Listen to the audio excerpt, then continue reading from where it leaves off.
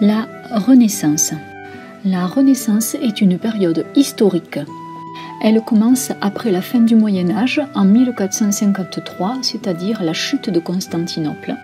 Certains historiens estiment que 1492 peut être le début de la Renaissance, en raison de la découverte de l'Amérique par Christophe Colomb.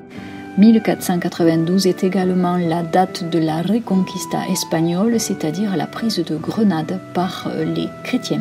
Enfin, d'autres historiens estiment que 1450 date de l'invention de l'imprimerie par Gutenberg et le début de la Renaissance.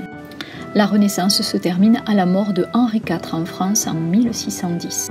Cette période historique d'environ un siècle se caractérise par l'idée d'un renouveau.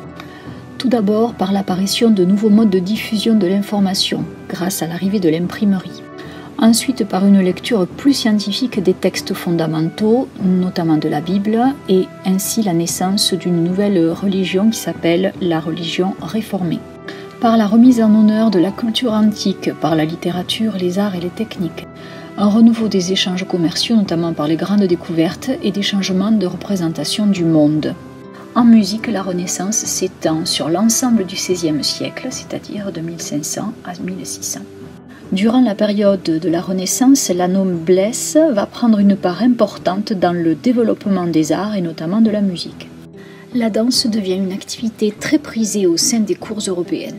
Les princes, les rois encouragent la pratique de cette discipline qui contribue à exalter la magnificence de leur cours. Ils deviennent eux-mêmes d'habiles danseurs, cette habileté étant pour eux une preuve de leur puissance sociale et culturelle.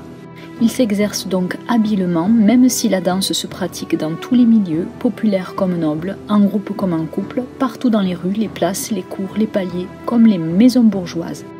Une grande diversité de danses et de chants euh, apparaît les gavottes, les pavanes, les gaillardes, les bourrées, les allemandes, les tourdions, dansées ou chantées.